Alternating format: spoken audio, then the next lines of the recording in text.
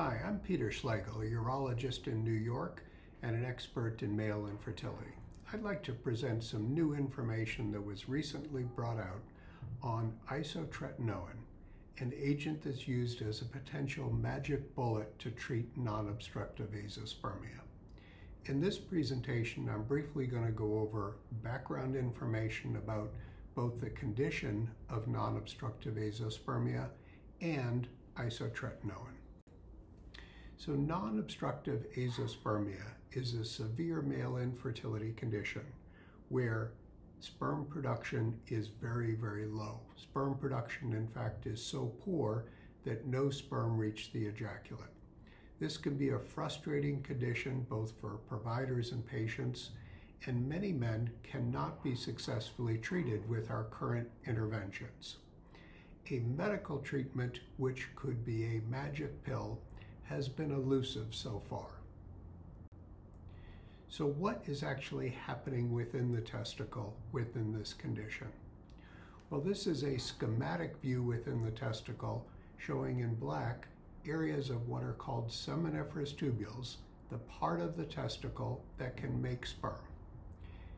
If you have non-obstructive azoospermia, then most of these areas of the testicle are not working, as shown by these empty seminiferous tubules. If we look further in detail within those tubules, we have a clear understanding of what is happening. There are two parts within the tubules.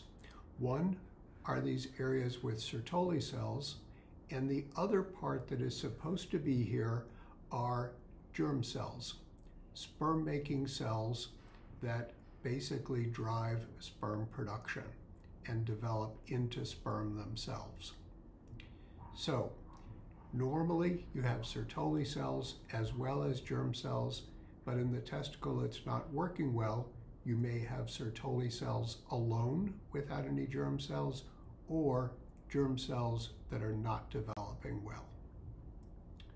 So Sertoli cell only then exists when most areas of the seminiferous tubules, the areas where sperm production is supposed to occur, have no cells that can develop into sperm. It's really a structural issue. These cells are missing and no medical treatment will fix this. Reprogramming of other cells from the body is needed, what's referred to as a stem cell based treatment, which unfortunately we don't have and may not have for many years but this Sertoli cell only pattern is present for the vast majority of men with non-obstructive azoospermia, over 70%. Our current approach is to have surgery to find an area of the testis, like those black tubules I showed in the last illustration, that may be better, that don't have Sertoli only and have small pockets of sperm production. For those men who have germ cells present, medical treatment might help sperm development.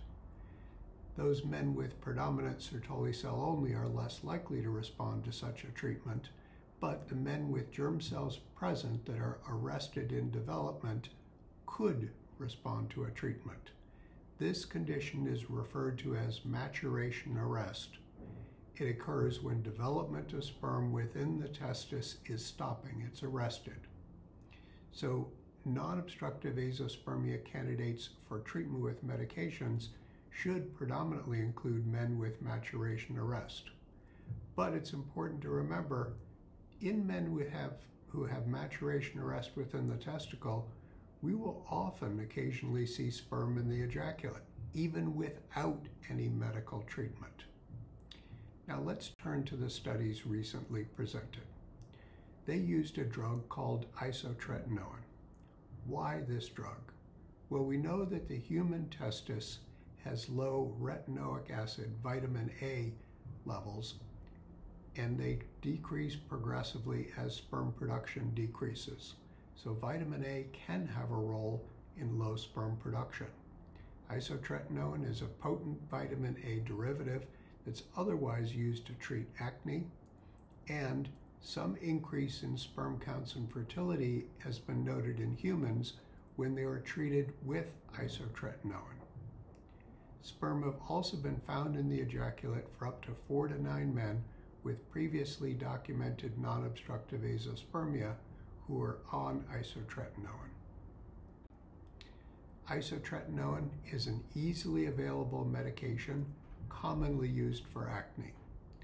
Unfortunately, it's what's called a teratogen.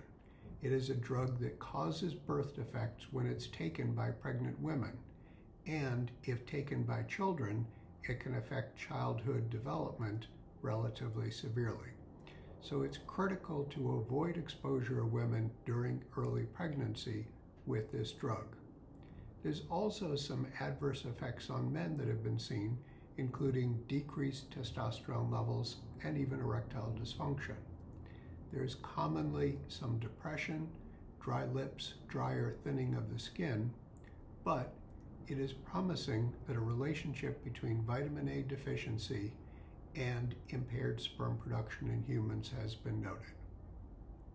In part two, I will discuss a new study that has been presented which documents the potential benefit of isotretinoin in treating non-obstructive azoospermia.